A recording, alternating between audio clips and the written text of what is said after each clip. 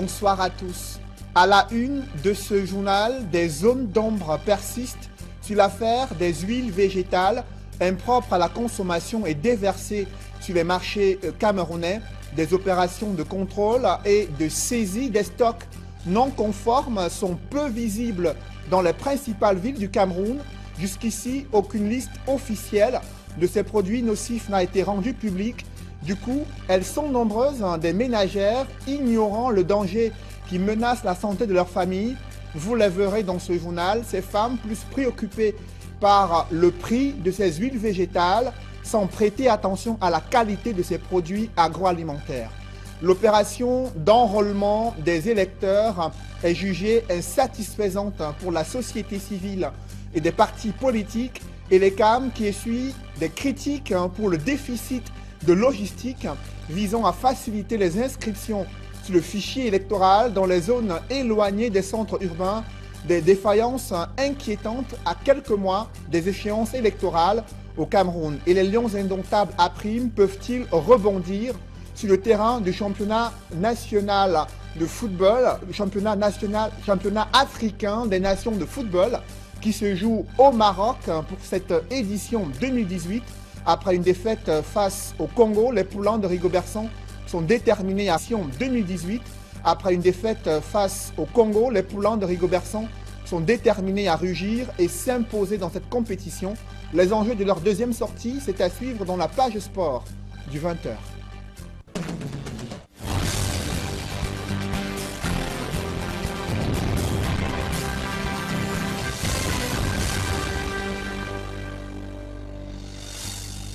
Merci de suivre cette édition complète de l'information sur Equinox Télévision. Après l'alerte du déversement des huiles végétales non conformes sur les marchés camerounais, des opérations de contrôle et de saisie ont été effectuées selon les brigades qui sont logées au ministère du Commerce. Cependant, ces opérations sont sporadiques et peu visibles selon des associations de défense des droits des consommateurs. Ces associations déplorent également l'inexistence d'une liste officielle de ces produits nocifs afin de sensibiliser davantage les consommateurs camerounais. Reportage François Dikoumé et Gladys Sidier. À la délégation régionale du commerce pour le littoral, quelques cartons de bouteilles d'huile végétale saisis dans les marchés et autres grandes surfaces. La présence des huiles végétales impropres à la consommation est bien connue des autorités. Les opérations de saisie dans les espaces marchands ont été entamées il y a plusieurs jours, assure-t-on à la délégation. Nous avons constaté, malheureusement, qu'il y a à l'heure actuelle une forte présence euh, des huiles importées euh, qui ne respectent pas euh, la norme camerounaise. Et conformément donc à l'alimentation en vigueur, nous avons le devoir d'agir. Et c'est justement pourquoi nous avons prescrit des mesures fortes auprès de la brigade de contrôle qui a donc investi des équipes sur le terrain en vue de, la brigade de contrôle qui a donc investi des équipes sur le terrain en vue d'évacuer toutes ces huiles du circuit commercial. Et depuis plus d'une semaine, nos équipes sillonnent les hyper, les supermarchés, les marchés, à, à l'effet donc de saisir toutes ces huiles importées et qui ne respectent pas la norme camerounaise. Seulement, il est difficile pour les consommateurs d'identifier les marques concernées par la campagne de retrait des produits impropres à la consommation sur les marchés. Je dois avouer qu'il est difficile pour le consommateur de le savoir, mais vous devez déjà vous imprégner de quelques inscriptions qui ont été données. Par exemple, s'assurer que votre bouteille que vous achetez porte quand même un petit logo, un petit cercle là, euh, avec euh, l'écriture, il enrichi la vitamine, ainsi de suite. Donc, euh, il y a quelques inscriptions qui peuvent aider le consommateur. Ce n'est pas toutes les huiles importées qu'il faut évacuer. Il y a des huiles importées qui sont fortifiés à la norme camerounaise. Quoique dubitatif sur les caractéristiques des huiles végétales à éviter ou à consommer, le délégué régional du commerce pour le littoral conseille plus de vigilance au moment de l'achat du produit. Notons tout de même que jusqu'ici, aucun numéro vert n'a été mis sur pied pour sensibiliser les populations sur les dangers de ces huiles végétales, sur leur santé. Elles ignorent presque tout du danger qui menace la santé de leur famille. Des ménagères continuent d'acheter ces huiles végétales sans prêter attention à leur provenance et les conditions de fabrication, peu informées du scandale de ces huiles non conformes déversées sur les marchés et incapables de les identifier, de ces huiles non conformes déversées sur les marchés et incapables de les identifier, ces femmes se jettent leur dévolu sur des produits qui sont vendus à des prix accessibles, certaines plus avisées tentent d'effectuer des choix en fonction de la qualité de ces produits agroalimentaires. François Dikoumet et Julienne et Julingue Nyondé. Au marché nu des dos dans l'arrondissement de Douala-Premier, plusieurs types d'huile végétale inondent les comptoirs. Certains, pour la plupart, sont fabriqués localement, d'autres viennent de l'extérieur. De quoi permettre aux ménagères de choisir l'huile végétale qui leur convient. C'est le cas de Dame Rachel, rencontrée dans cet espace marchand pendant qu'elle faisait ses courses. Interrogée sur la question de savoir si elle aurait été informée sur la présence de certaines huiles végétales déclarées impropres à la santé, la réponse ne se fera pas attendre. Non, non, je n'ai pas entendu ces informations-là. Pourtant, c'est depuis plusieurs semaines que l'annonce a été faite par les autorités compétentes. Sur le terrain, seules les commerçantes semblent avoir perçu le message. Oui, j'ai reçu le message. Raison pour laquelle j'achète des huiles scellées et non les vaches qui sont sur le marché. J'ai entendu très bien parler de ça. Il y a trois qualités, je crois bien qu'on a cité, qu'on ne doit pas consommer. Je me dis, où c'est ça qu'on met dans, on charge dans les bouteilles là pour vendre, ou c'est quoi, je ne sais pas. Bon nombre d'entre elles affirment d'ailleurs avoir déjà eu à cuisiner avec ces huiles végétales impropres à la consommation. Oui, j'ai déjà acheté, madame. Quand tu fais le repas, quand tu manges, tu ressens à la gorge, là, n'est pas bon. Ça démange. Ça démange beaucoup. beaucoup. Et l'huile, le voici. Habituellement, les ménagères, même les briseuses, là, quand ils viennent pour acheter, elles goûtent. Oui, ici, ça n'a pas d'odeur. Là, si c'est à l'odeur, eux, ils ne prennent pas. Mais ils refusent à la télé comme ça. on est en train de vendre ici, dehors, ils ne font rien. Quand on refuse à la télé, on ne fait pas le travail sur le marché, c'est pour que ça change pour rendre ici, dehors, ils ne font rien. Quand on refuse à la télé, on ne fait pas le travail sur le marché, c'est pour que ça change pour. Elles invitent les pouvoirs publics à non seulement sensibiliser, mais également à identifier la provenance de ces huiles impropres à la santé pour réduire les risques. Dans ce chapitre économie, des contribuables camerounais sont insatisfaits de la politique fiscale du pays. Ils souhaitent euh, la mise en place d'un code général des impôts plus attractif pour les entreprises camerounaises.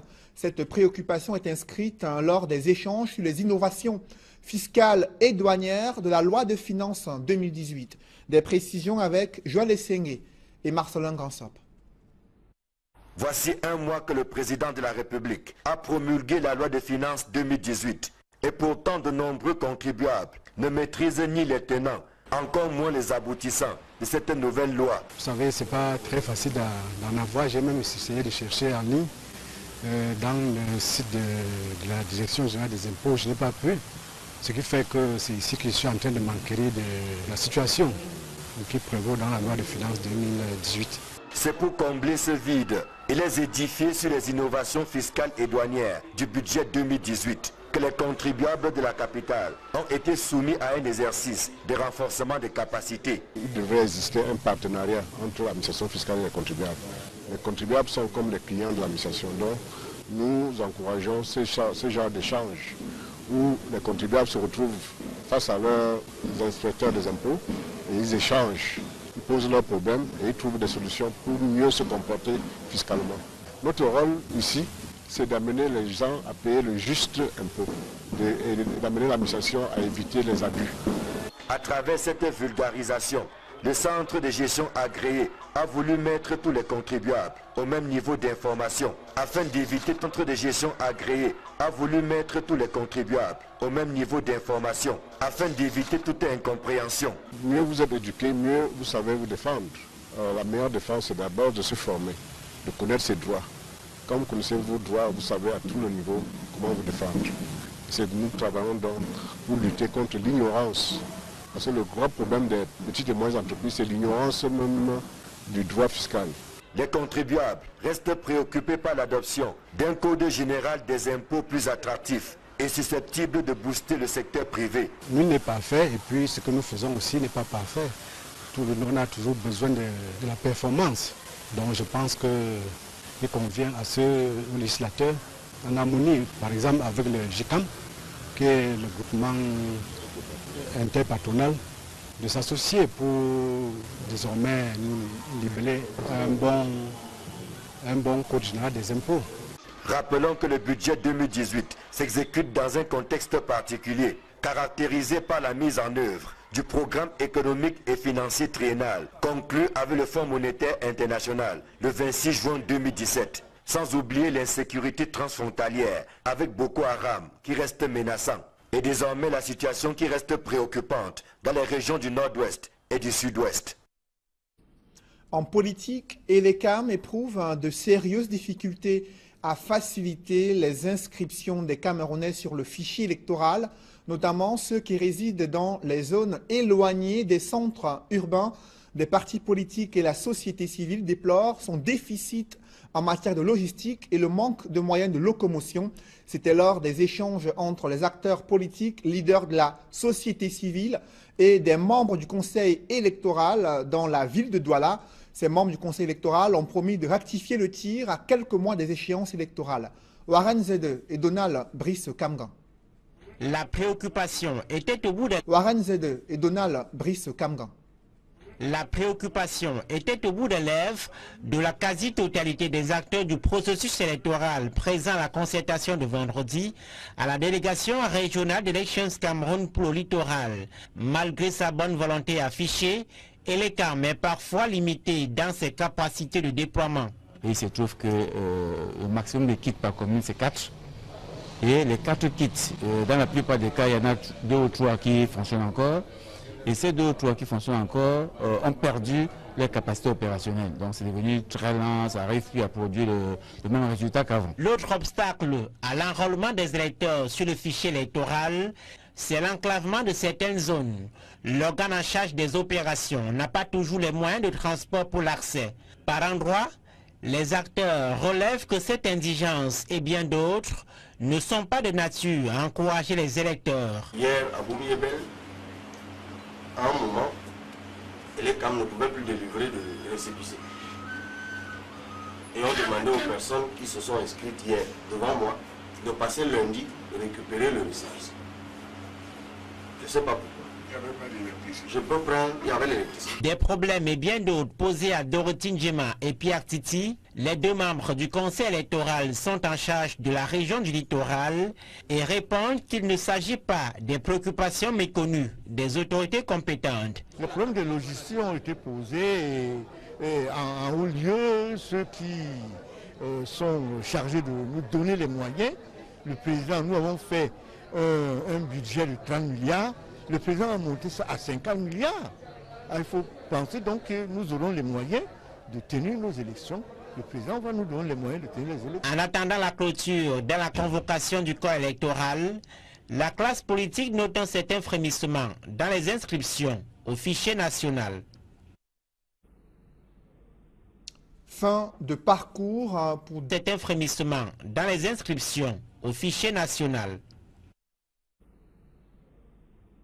Fin de parcours hein, pour deux présumés trafiquants des ossements humains. Ils ont à peine 20 ans et c'est la brigade de recherche de Ndogbassi euh, à Douala qui les a interpellés en possession des ossements humains. Comment sont-ils parvenus à exhumer tout un corps, toutes les os qui constituent le corps humain et qu'ils s'apprêtaient à vendre à plusieurs millions de francs CFA Le récit des faits avec Innocent Abega et Julienne Berthe-Bissaille. Ce n'est pas une copie, c'est bel et bien un squelette humain sorti du fond d'une tombe où il reposait depuis des années à Fumbot, dans le département du Nôn. L'exhumeur a interrompu son repos de sang-froid, puis vendu à ce jeune homme au visage apparemment innocent, mais plein de projets surprenants. Suleiman Aliou est en fait un présumé exhumeur. Et pour lui, ce squelette représente une mine d'or. C'était ça, Fumbot, chez Ibrahim. Je ne sais pas si le franchement encore dans la ville de Fumbot. Ça fait déjà trois mois qu'il m'a vendu ça. J'ai pris ça à 200 000. Je voulais vendre comme le monsieur qu'on s'est tamponné avec lui, 12 millions. Et je ne savais pas que c'était interdit par la loi. Dans l'attente de réaliser l'affaire de sa vie, Suleiman Aliou ne quitte plus son trophée. Bien dissimulé dans ce sac, il le traîne partout où il va. Très vite, la nouvelle d'un jeune homme transportant un colis suspect se répand en Bopi, où il passe régulièrement son temps. C'est alors que le commandant de la brigade des recherches de Douala 2e et ses hommes se mettent à ses trousses et le cueillent avant qu'il ne se débarrasse de cette marchandise d'un autre genre. Nous avons infiltré nos agents de renseignement là-bas qui sont venus nous signaler qu'il euh, y a euh, quelqu'un là-bas qui... Euh, y a quelqu'un là-bas qui est en train de chercher un preneur des ossements humains. Nous avons donc monté un scénario où nous avons pris quelqu'un qui devait se passer pour euh, un éventuel acheteur que nous avons euh, mis sur le terrain. Alors le scénario a marché, ils ont mordu et le type a accepté leurs conditions et a donc demandé qu'on vienne livrer. Euh, à 16h30, ils sont arrivés à deux avec ce paquet que vous voyez dehors, un squelette entier euh, qu'ils ont bien emballé dans un sac banjok et ils ont mis à l'intérieur d'un sac de classe qu'ils portaient au dos. Vous pouvez, quand il a ça au dos, vous pouvez croire que c'est un élève qui va à l'école. L'exhumeur qui a vendu ce squelette à Suleiman Aliou court toujours, mais pas pour longtemps, affirme le commandant de la brigade des recherches de Douala 2e, déterminé à démanteler ce réseau de vente d'ossements humains. Un magasin de stockage de la drogue, des stupéfiants et du chanvre indien a également été démantelé lors d'une descente musclée effectuée par les éléments de la brigade de recherche de Ndokbat. Les présumés euh, propriétaires euh, de ces armes blanches et de, ces stupéfiants courent toujours et une chasse à l'homme est ouverte dans la capitale économique du Cameroun pour mettre la main sur les présumés euh, propriétaires de ce chanvre indien dont la culture pourrait être entretenue dans la ville de Douala. Parlons à présent de cet hommage rendu au caporal Mbala Bikwe Arnaud et l'élève gendarme Bessiala euh, Bertrand, tombés sous les balles des ennemis sur les fronts de guerre contre le terrorisme et les assaillants sécessionnistes anglophones le gouverneur du centre a salué la mémoire des terrorismes et les assaillants sécessionnistes anglophones. Le gouverneur du centre a salué la mémoire des soldats engagés pour la défense de la patrie. Joël Essenge et Marcelin Gransop. Ambiance de tristesse à la cour d'honneur de la base aérienne 101 de Yaoundé. Au centre de l'hommage de la nation, deux soldats arrachés à la fleur de l'âge sur le front de la défense de la mère patrie. Le caporal Mbala Bikwe Arnaud est tombé dans la forêt de Sambisa, fief de Boko Haram au Nigeria, lors de la dernière expédition victorieuse de la force multinationale mixte, formée au bataillon d'intervention rapide. Il dépose les armes à 30 ans, après 7 ans de loyal service au sein des forces de défense camerounaises. Quant à l'élève gendarme, Bessala Bessala Bontran, il est l'une des victimes de l'opération de sécurisation de la région du sud-ouest. C'est à Kembon, à Manfé, qu'il est tombé récemment sous les balles des activistes sécessionnistes. Né en 1996, il intègre la gendarmerie nationale en février 2017, soit à peine 11 mois d'exercice. Pour l'un et pour l'autre, le chef des armées salue la mémoire de leur engagement patriotique. Caporal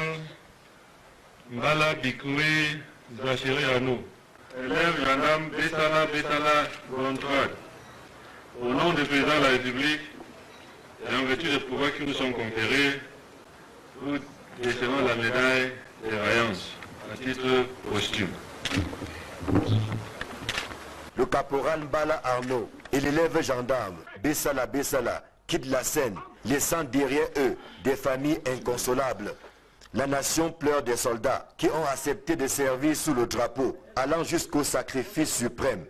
Des exemples à copier par ces temps où le Cameroun fait face, allant jusqu'au sacrifice suprême. Des exemples à copier par ces temps où le Cameroun fait face à plusieurs défis sécuritaires. Les disparus ont pris le chemin de non-retour pour une inhumation prévue ce week-end.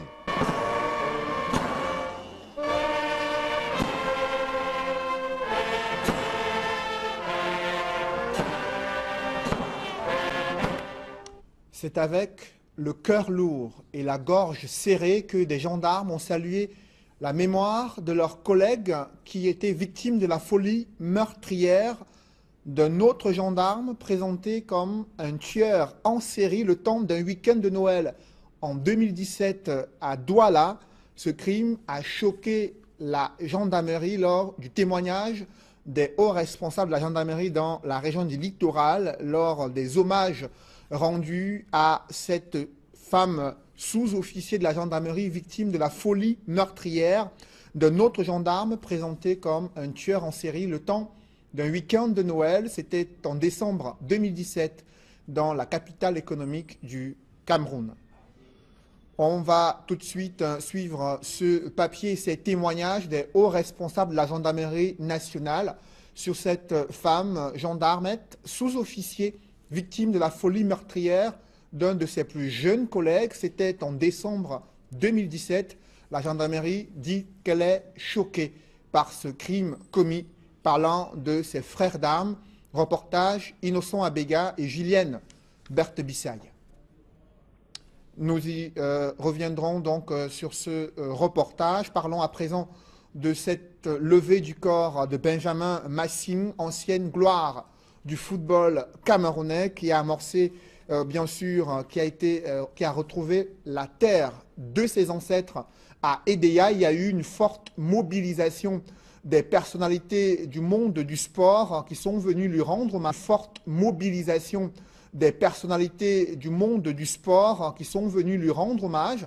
Avant de se rendre à Edea, je vous propose de suivre ces hommages euh, que la gendarmerie a rendus en la mémoire de ces soldats, parmi lesquels cette femme sous-officier victime de la folie meurtrière de l'un de ses collègues gendarmes. Reportage Innocent Abega et Gillienne Berthe Bissaille.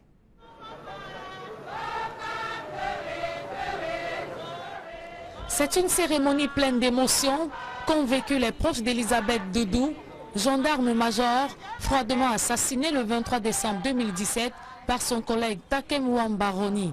Cette cérémonie funèbre était l'occasion pour les forces de défense d'exprimer leur profonde douleur. Prise dans les taux d'une folie meurtrière de son camarade et collègue de service de l'escadron 24 du port, le gendarme Takem Wanda Rundik Topi lequel, sans raison valable, va plutôt s'en prendre aux deux, commençant d'abord sa salle besogne par le sous-officier, vers qui il dirige son âme et ses premiers coups de feu nourris, rapidement à cette première victime par cette maladresse de prendre large sous le couvert gracieux et obscur d'une nuit s'annonçant particulièrement bien noire. Précédemment en service à l'escadron 24 du port Peloton Mobile, le gendarme-major Elisabeth Doudou s'engage le 2 décembre 2011 dans les forces de défense et de sécurité de son pays au titre de la gendarmerie nationale. Doudou, comme l'appelaient affectueusement ses proches, était en première année de préparation à l'examen technique d'officier de police judiciaire et attendait les résultats de l'examen de passage en deuxième année. Trois mois après avoir porté son nouveau galon de gendarme-major, elle quitte ainsi le commun des mortels à l'âge de 30 ans, alors qu'elle venait de convoler en juste noces. Sa dépouille a ainsi le commun des mortels à l'âge de 30 ans, alors qu'elle venait de convoler en juste noces. Sa dépouille a été acheminée à Monatélé pour inhumation. Benjamin Massing a lui aussi rejoint la terre de ses ancêtres.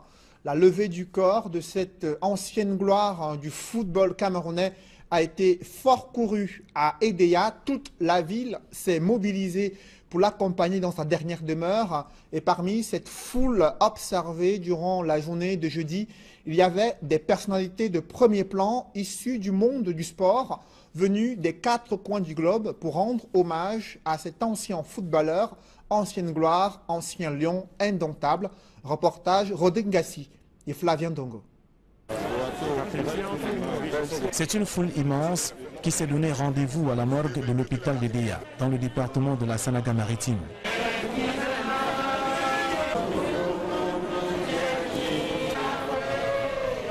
Les anciens coéquipiers de Benjamin Massing, les figures emblématiques du football camerounais avec au premier chef Albert Roger Mila, ne sont pas restés insensibles à la levée de corps du vieux lion.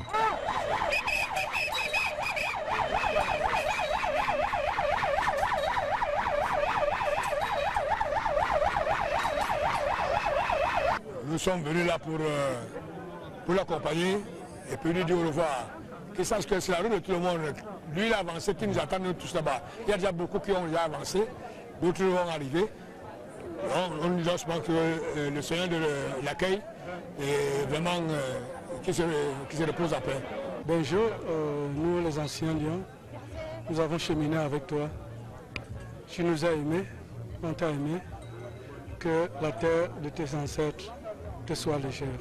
Le dernier voyage entamé par celui qui est décédé le 10 décembre 2017 a mobilisé les populations de par celui qui est décédé le 10 décembre 2017 a mobilisé les populations de la ville lumière le long de l'itinéraire.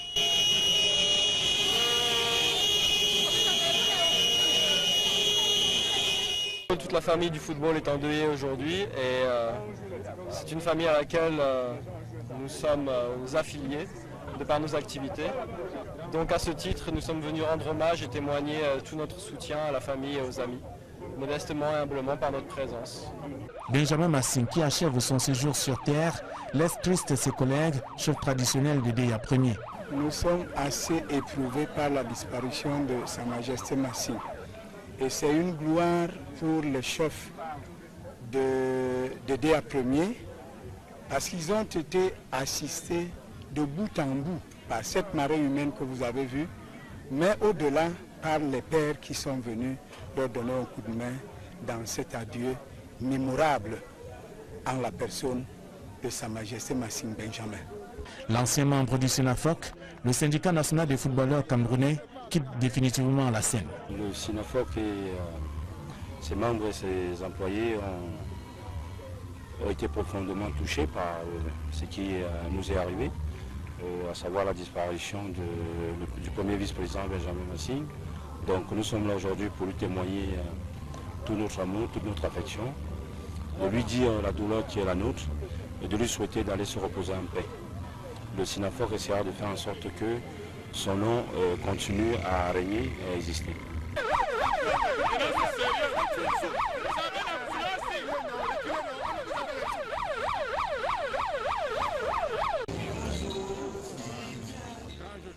Les Lions A' vont-ils rebondir sur le terrain du championnat africain des nations de football? Après la défaite face au Congo Les poulains de Rigobertson sont déterminés à rugir. Seul après la défaite face au Congo, les poulains de Rigobertson sont déterminés à rugir pour s'imposer dans cette compétition qui se joue au Maroc. Reportage Eric Watat et Nana Paul Sabin. Cameroun contre Angola, c'est un match qui se jouera sous un air de retrouvailles, de revanche et de peur. Retrouvailles entre les Lions indomptables à prime et les Palancanegra deux ans après leur dernière rencontre au Chan Rwanda 2016. Les deux sélections s'étaient alors quittées sur une victoire étriquée du Cameroun sur le score d'un but à zéro.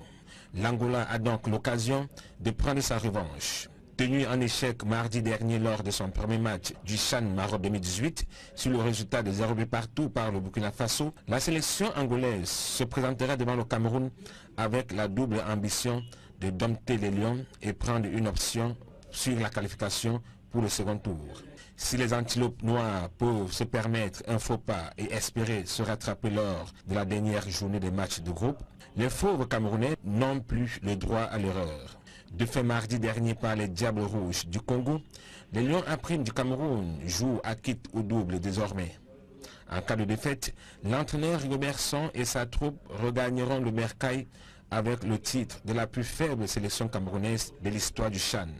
En 2011 et 2016, lors de ces deux précédentes participations, le Cameroun avait atteint les quarts de finale.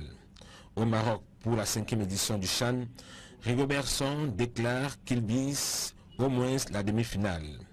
Réputé homme au mental fort, l'ex-capitaine emblématique des Lions en Ontabre a demandé à ses joueurs de réagir efficacement après la défaite au premier match. Rigobertson multiplie les séances d'entraînement en mettant l'accent sur la finition et l'occupation rationnelle de l'aire de jeu. Des manquements qui ont rendu les Lions à prime inefficaces devant le Congo alors que le match était alors porté. Aucune erreur n'est plus permise. efficace devant le Congo alors que le match était alors porté. Aucune erreur n'est plus permise. Ça passe ou ça casse devant l'Angola et l'analyse hein, des enjeux de cette deuxième sortie des Lions A' au Chan 2018. C'est à suivre dans l'émission Horizon Sport euh, qui doit intervenir autour de 21h ce soir sur Equinox Télévision, émission présentée par Étienne Pascal Azégué. Mais avant, le plus grand rendez-vous de l'économie sur Equinox Télévision, tendance économique, juste après cette édition du 20h. Mesdames, Messieurs, merci d'avoir suivi ce journal. Merci de rester sur Equinox Télévision.